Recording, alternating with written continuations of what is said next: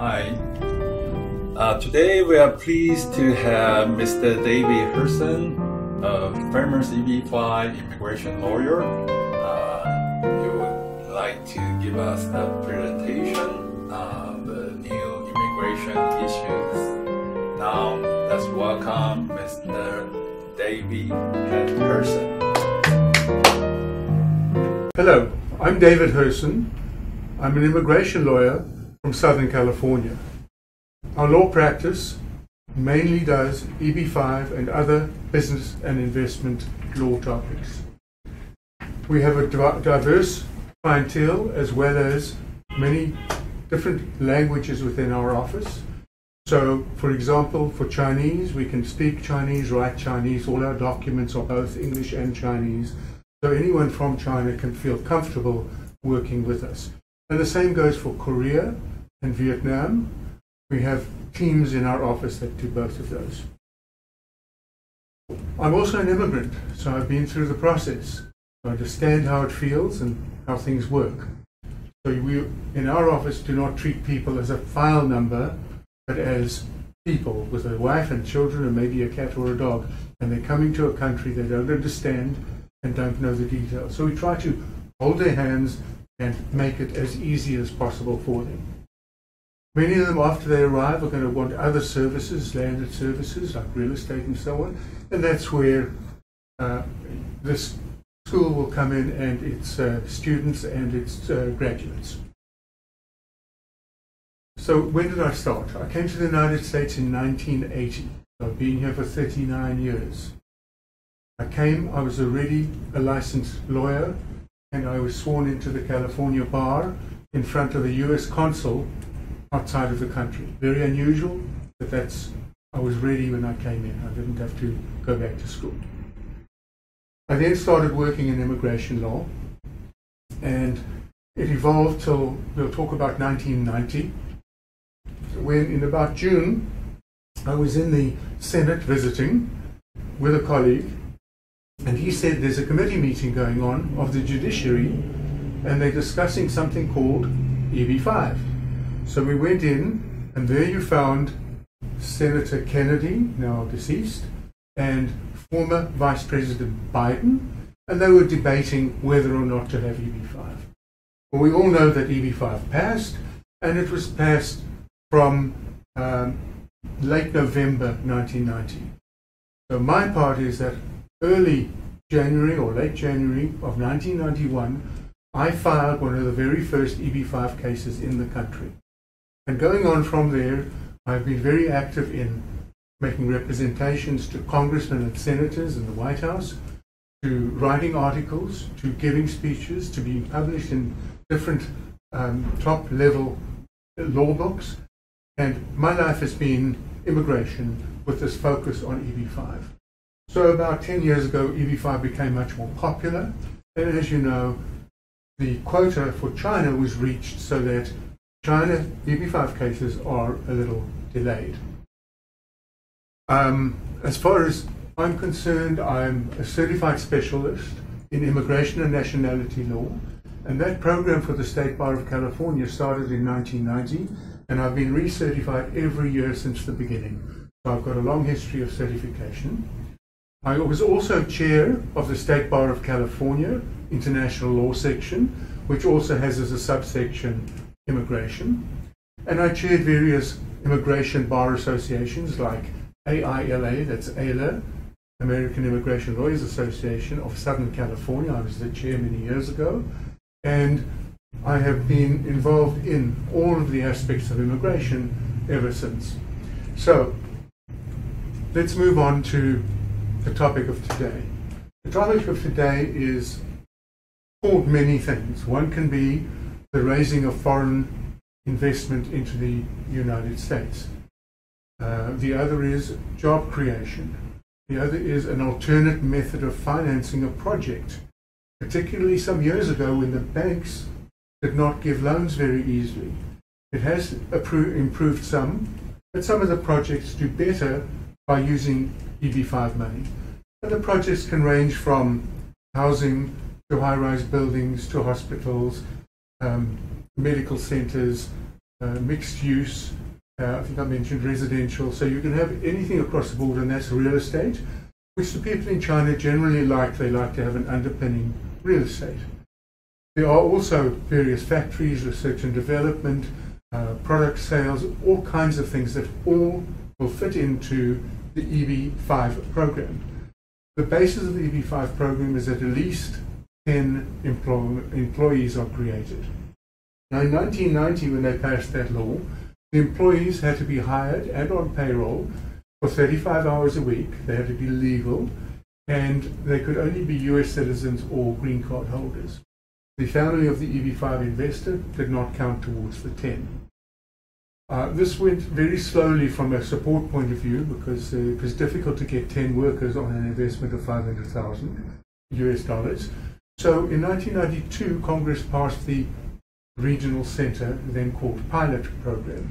What this did was it changed the EB5 hiring directly on payroll to being able to use the expenses, the income, and all the aspects of the project using an economist and various multiplier programs to create the impact of jobs in the area by virtue of the investment that went in. So that's also worked very well, and slowly the program got busier and busier to the point where the 10,000 visas that are permitted ran out, and China, who were giving us 80, around about 80% of all EB5s, got pushed into a waiting line because the other countries were only in the mid to low hundreds. So you can see that China is far ahead and a major investor in this program. We are hoping that the visa numbers get increased or there's a new way of counting them because we have a problem at the moment. You're given 10,000 visas and not 10,000 projects or investors because every family member, the spouse, and any children unmarried and under 21 who accompany each take up a visa. So on average, you have 3 to 3.5 people for each project. In reality, you're getting about 3,000, maybe 3,500 actual project investors each year. This is stifling on the program. We're hoping that it will change, and we're working very hard to get it changed. Um, let me move on to the basis of the program. Um, basically, when it started, invest $500,000, create 10 jobs, do some management in the operation, show the money is totally legal and clean, and um, hire your 10 workers. Well, as I said earlier, this didn't work so well, so they brought in the regional centre program, and that got you the indirect employment. Now, to file an EB5 case, there were three stages. And you can see them on the uh, you can see them on the slide where technically the forms are an I-526, that's the starting application. Then you have what is called consular processing or adjustment of status. And then the third stage is a Form I-829 to remove the conditions. let me give you a little more detail on each of those. I've already mentioned management direct or limited partnership LLC, so that's indirect. You can be as close to passive in these investments as you want, so you don't even have to live near the project. And if you get the correct permit, you can actually be out of the country while you're waiting for your final, final full green card. But don't stay out beyond six months or you'll have trouble.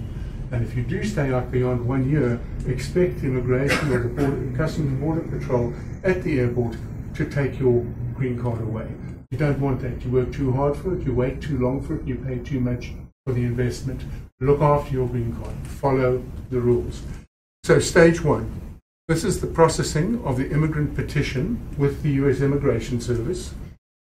They will look at the source of funds very, very closely. That is the most critical part of doing your EB5.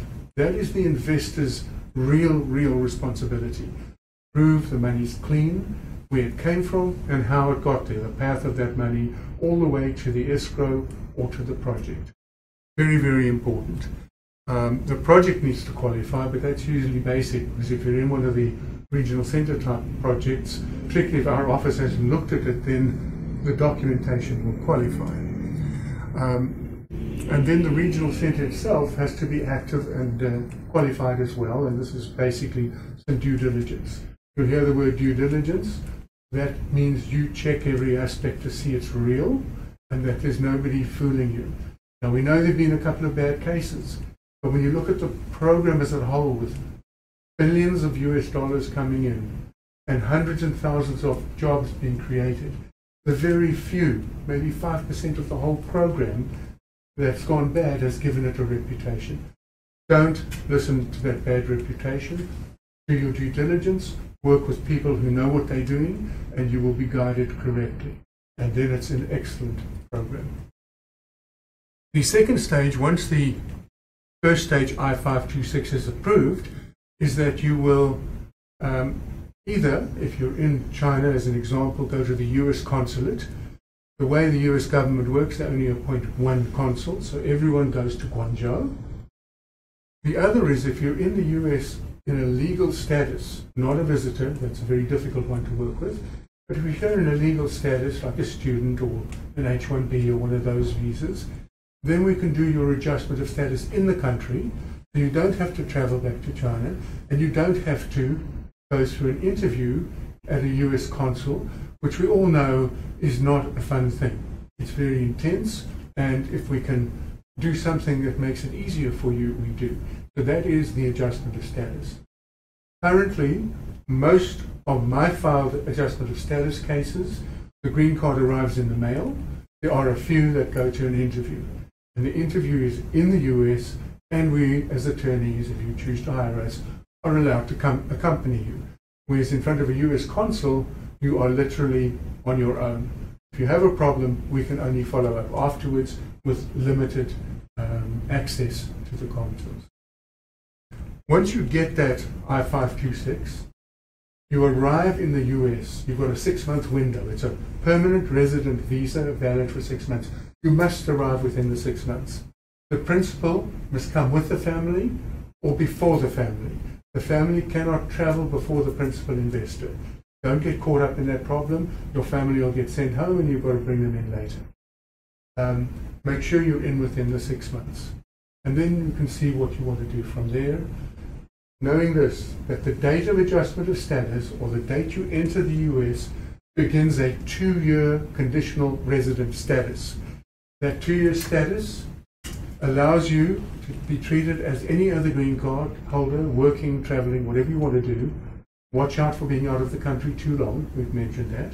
And then you look at um, in the 21st month, and not later than the 24th month of your conditional residence, you must file your third stage Form I-829, which is the application to remove the condition. Now, that application is critical, less from the investor standpoint, more from the project and the regional centre, because they have to certify and prove that the construction or whatever the basis of that economist report has been fulfilled, the assumptions are confirmed, and the other part is that your money has not been paid back to you. You can get a return on your investment, which means dividend payments or preferred payments, but you cannot get a return of your investment until all things work out and the conditional residence is approved.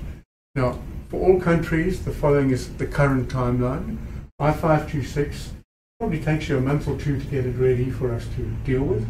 Then you go on to filing that I-526, which is taking about 14 months of immigration, at which point it'll take six months or so before it goes to the US consul.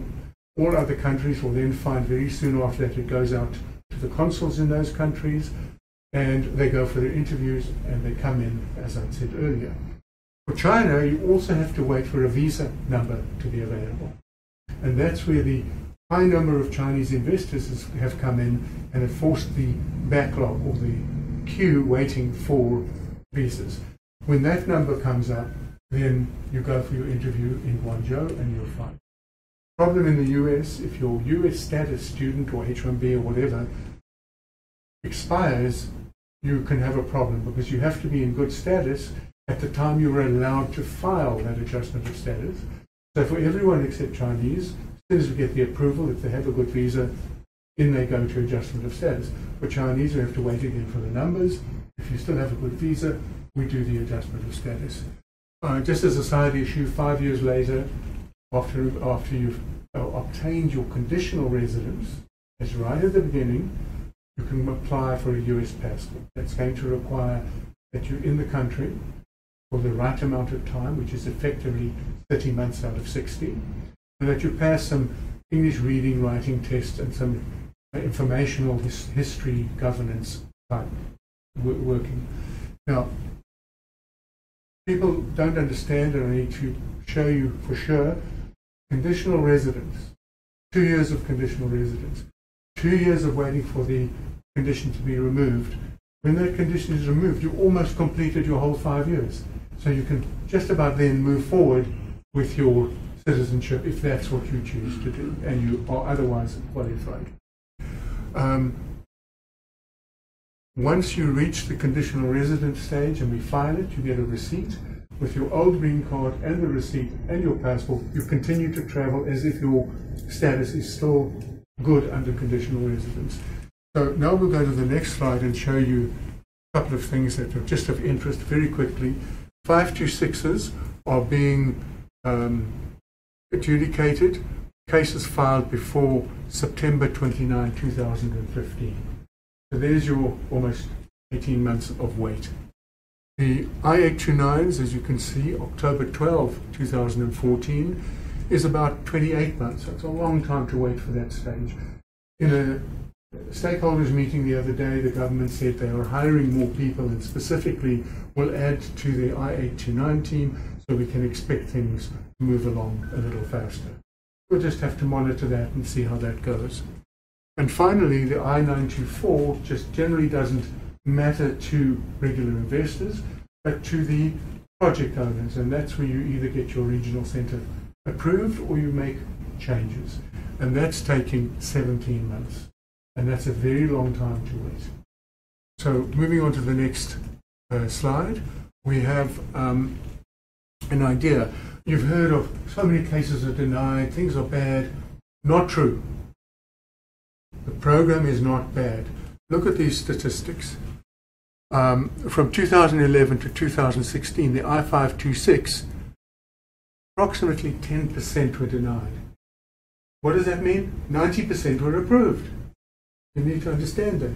So, of the 10% denied, generally they were with people who started their own businesses or worked with a lawyer who didn't know the law properly. Most regional centre project cases do go through the system, sometimes delayed with requests or appeals and that, but we have a 99.9% success rate on 526s. Then we go to the I-829. People say, well, we'll never get our I-829 approved this is not a great project, one thing and another. Have a look at that. Approximately 1% of the cases filed have been denied. Very small amount. So you needn't worry about that.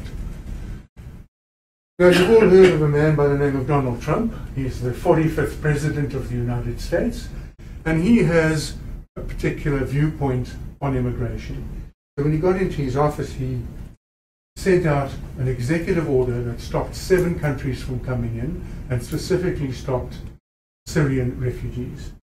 Well, everybody ran into court and Mr. Trump lost. So he reworded his executive order and he sent it out again. I can tell you last night, which is the 15th of um, March 2017, two courts ordered the program stopped. So once again, Mr. Trump has lost the battle for this. He has been screaming about it all of yesterday and today. And he says he'll take it all the way to the Supreme Court. Well, this is part of his prerogative, and it also shows how this country has a system of balances that if the president does the wrong thing, the courts can come in. If the Congress does the wrong thing, the president can stop them, or the courts can come in. So you've got this balance of authority. So you won't have one person becoming a dictator. Very useful, very helpful, a wonderful country to live in. Due process, freedom of speech, freedom of assembly, things that you don't realize until you get here. And then when you use it and have it, you become spoiled because it's just there. Um, as I mentioned earlier, I immigrated to this country in 1980, and I've been here ever since practicing law. And I've seen so many kinds of cases and so many events. This is a wonderful country. So, moving on with the um, executive order, just very briefly, uh, the second order dropped Iraq as a country, so it became six countries, and still kept Syria as no refugees. Again, as I said, court order stopped that. So then we go on to, um, one more please. The Syrian refugees can't come in. And that's for a fixed period of time, we don't know how long. All the others is only a 90 day ban. So it's not that terrible, but people are reacting very strongly that it's inappropriate. So the other thing I get asked a lot, specifically from Chinese, is there are quite a few Chinese Muslims, and they are worried that they'll be blocked from coming into the country purely because they're Muslim. And the answer is definitely not. Chinese Muslims are as free as anyone else with the right paperwork to come into the country, so please don't worry about that. And the same applies to most other countries not in the top six, or in the uh, suspected six. If you have a visa, or you're a green card holder, or you're now a US citizen, no matter what your religion, unless you're a criminal and have some problem under US immigration laws, you will come in. You will not be stopped by these executive orders. People are terrified of them. They're not so bad to most people. They affect some, as bad as we feel the order is. Understand, most people are not affected. Um, we go to the next one, please? One of the things that has become a program for a lot of Chinese and others is that a mother gets pregnant in China, comes over here, and has a baby. Well, if you tell the consul in advance and you show you've paid or will be paying and have the resources to pay all the expenses, it's not a problem. People are scared of it, so they hide it away. But then they do something worse. They rely on government assistance to pay for the birth. That has a very serious effect with Mr. Trump or not with Mr. Trump. You've now received some form of aid from the US government, and you, as parents, can be blocked from the country. Your child is still a US citizen, but you're not going to come here for 21 years? Not a good idea. Pay your way. You'll be welcomed. Okay, some of the changes we're expecting in the new laws are that the um, price for EB5 is going to go up. I was telling people in China two weeks ago that it'll be 800,000 for the $500,000 level and 1.2 million for the $1 million level.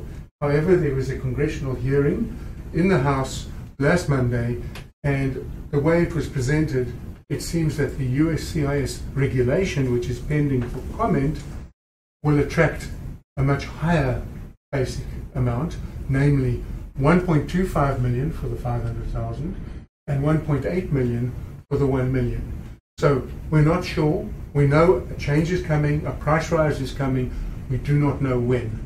Advice from our office while we can't guarantee it, we recommend that you file your case completely to get your receipt before April 28 and thereby try to lock in the 500,000 level or if you're in a higher level, the million dollar level. That is the way you should be going. Um, other things in the law is the targeted employment areas are getting a new definition. That's highly technical, but it affects which areas can use the lower amount. And they're going to require a lot more reporting, transparency, and openness, which is excellent for the investors because people aren't going to be hiding what they, they've done with the money. They have to have it open and clear. So, next, please. A very quick point. If you, as a Chinese investor or any other country in any category, are married to someone from a different country, if you get an approved immigration case for yourself and your numbers are way, way backed up, but the category for your spouse is not, you use a cross chargeability and you can come in on the earlier um, visa date. So, example, if a Chinese person marries someone from Hong Kong, Macau, or uh, Taiwan, they can pick up the dates for those three entities, which is current, which means they're going to jump to the head of the line of the other Chinese that are waiting. Okay, thank you. People are worried about their children aging out. This is an ongoing problem. I don't have a full answer for you, but I can say this. If you file the case around about the child's 16th birthday as it stands today, that child should be okay when the parents get their green cards. I then asked, well, can't we file the child's case now? Up until a while ago, I was filing 16 year olds. However, the new laws in their draft forms specifically mention 18 years. So I don't want your case to come up in two years' time when the examiners say, well, it's 18 years, your case is no, no good. So I'm advising people to wait for the kids to be 18 and then they can file, or you can file with them for their own cases. Um, next one, please. And I've touched on why you should invest sooner. One, you get your priority date. Two, hopefully you'll lock in the targeted employment area, so it's the higher or lower investment amount. And three, you'll lock in the actual uh, dollar amount of the investment.